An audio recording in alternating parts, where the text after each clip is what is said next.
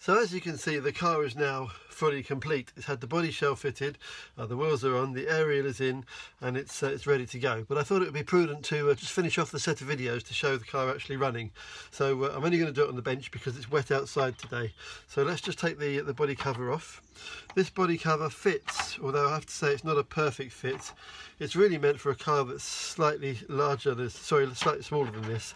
But uh, for the purposes of, of um, running the car, it, it, works fine. So we'll take the body cover off so that we can see underneath. Uh, we'll turn the controller on, sorry, turn the um, receiver on and turn the controller on, which I have in my hand here. Uh, and we'll just do a quick check on, on responses. So throttle response is good, uh, along with brake is also good, and also uh, steering. Steering is working both in left and right direction. So that's pretty much ready to uh, ready to start. So the first thing we need to do is put some fuel in the tank. There we are. Now I use 20% nitro fuel uh, to go into the tank just to make sure it's okay, um, which is uh, certainly a, a, good mix for uh, for most uh, most nitro engines. So the next thing we're going to do is we're going to just push some fuel through the pipe into the carburetor. And the way I tend to do that is by using a separate piece of pipe. So I have a piece of pipe uh, here which I just tend to use and all I'm going to do is I'm going to connect it to there we are going to connect it to the fuel tank the top of the tank and just blow through to pump some fuel through the pipe. So that puts a little bit of fuel into the carburetor ready to start. Okay, now with any uh, engine that I've just rebuilt, um, what I also tend to do is just help it, give it a give it a little bit of a snifter to uh, to make sure it starts okay. And I tend to use it's Halfords, it's an Easy Start um, from Halfords, actually made by Holts, and just a quick squirt into the air filter just gives it some uh, some ether to get started correctly. So what we're going to do now is we're going to put the trim up so that the engine the carburetor is open slightly and hopefully that should be enough to start it. If it isn't I'll force it open a separate way and I'll show you how we do that in a minute. So we're going to put the um, the glow starter on. Oh before I do that actually one last thing I need to do, because I'm in my garage, I have a separate exhaust pipe which I'm going to put onto the exhaust here to take the fumes out and out, out of the garage so that they don't come into the garage. Otherwise I wouldn't be here. So there we are, we'll put the glow starter on and we'll see what happens.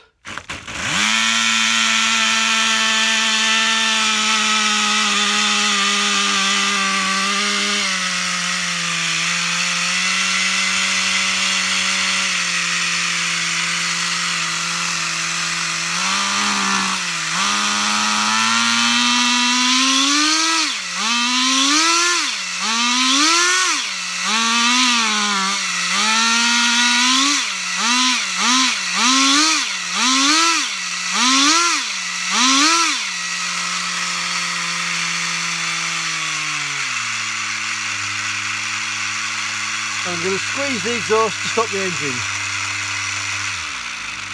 There we are just to show you there, just squeeze the exhaust here just to stop the engine. That just chokes the engine and makes it stop.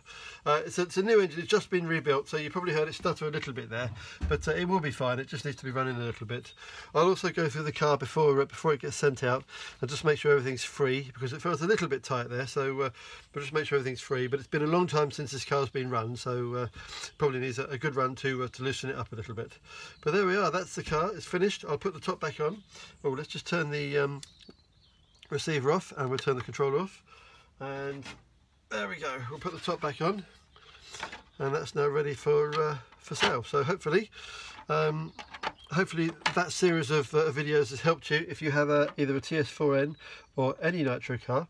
Uh, it's helped you to understand how to take it apart and rebuild it uh, especially on the engine side. Um, but if you have any questions you're welcome to contact me uh, via the uh, via the YouTube channel. This car is now going to be for sale. It'll be on eBay very shortly. And um, thank you very much for watching. So there it is. There's a full rebuild of a Thunder Tiger TS4N thanks very much